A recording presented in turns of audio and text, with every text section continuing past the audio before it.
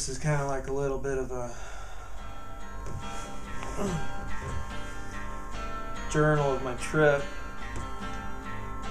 Just basically will say kind of what I did and reflect a little bit upon some of the things I was feeling.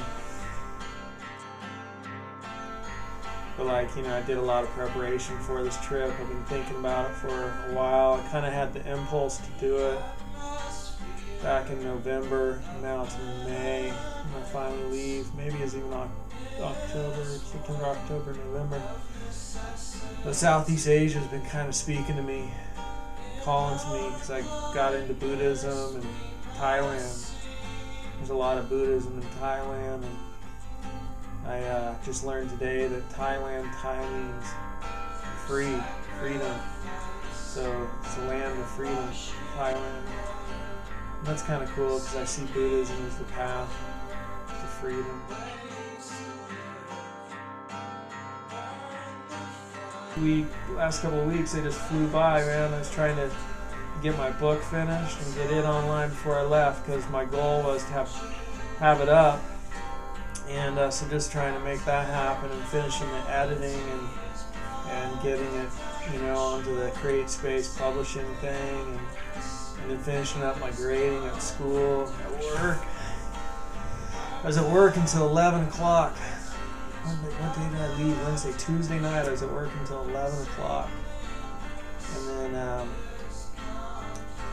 you know get my grades in and, and then I left and I went home and I packed till 3 in the morning I went to bed and I woke up at 5:30 in the morning. And My dad picked me up at six, and got my dogs in the back of his car, and we drove my dogs to uh, my ex's house, Melissa's house, and dropped my dogs off, and I'm feeling kind of like jagged, a little bit ragged, you know, like just from not getting enough sleep and kind of being stressed and trying to get all this stuff done before I go. So I'm kind of already afraid, you know, like you know not in the normal mind state because I didn't get enough sleep and I'm just busy and jagged out a little bit from being sleepless and drop the dogs off at Melissa's and then knowing I'm not going to see my dogs for almost two months saying goodbye to them. I get in the car with my dad I'm just crying. I'm like, why am I going on this trip? I don't want to leave my dogs. I'm not going to see my dogs.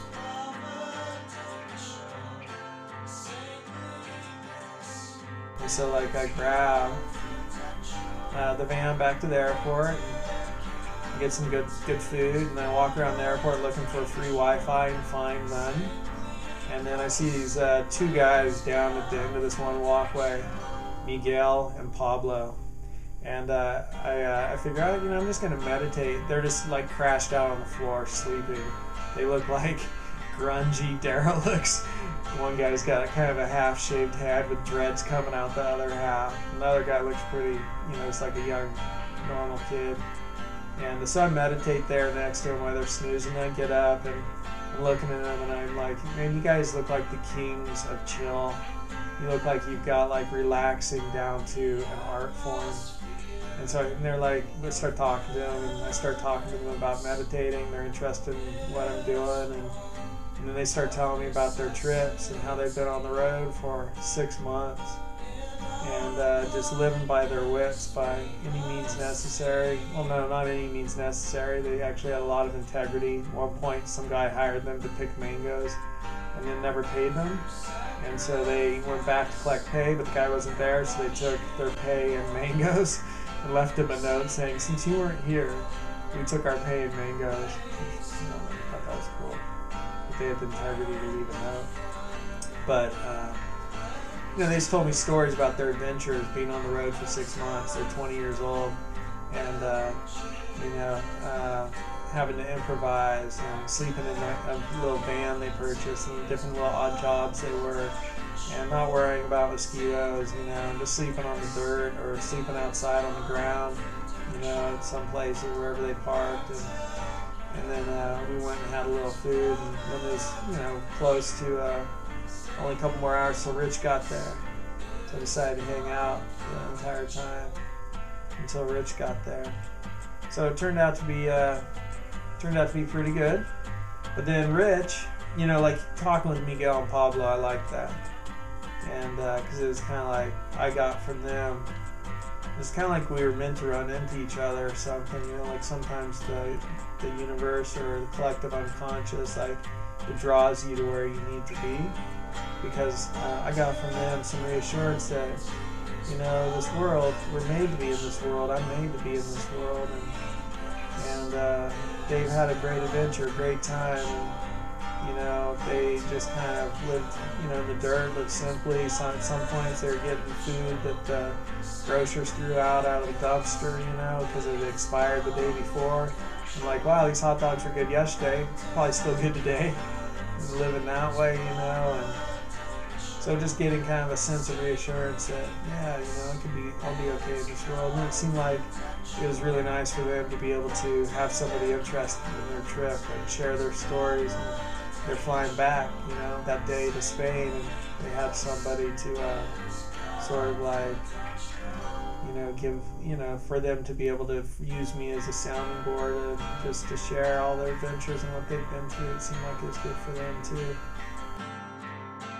And I get in the hotel and I'm like, you know, how far are we from the protest you know, where they're shooting people? And, uh, and they're like, no, it's, it's a ways, you know, and like a couple of blocks, a couple of miles, and, and I'm not still even clear like how far away I am from it. But, uh, but um, I asked, you know, the cab driver when I was coming, are things going up, or is it getting worse, or is it getting better? He said it's getting a little better.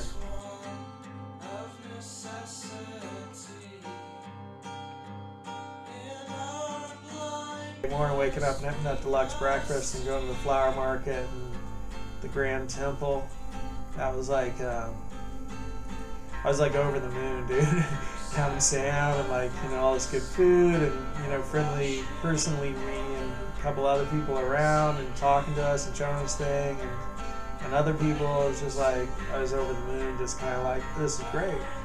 And it's kind of like it went from this thing where it was like uh, uh, just this real kind of low with the fear or just the fear I don't know if you need to say it's low but just the fear to this like really sort of like yeah feeling excited and happy and enjoying it having a pretty good, having a real good time today.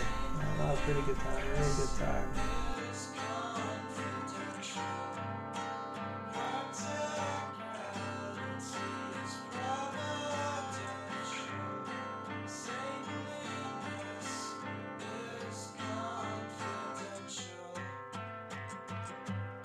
But it's uh, the land of freedom, land of smiles, and it's unfortunate they're going through a little bit of a hard time but it's a beautiful country and beautiful people, and and uh, I'm looking forward to the rest of my journey, the rest of this trip, to see what else I'm gonna learn.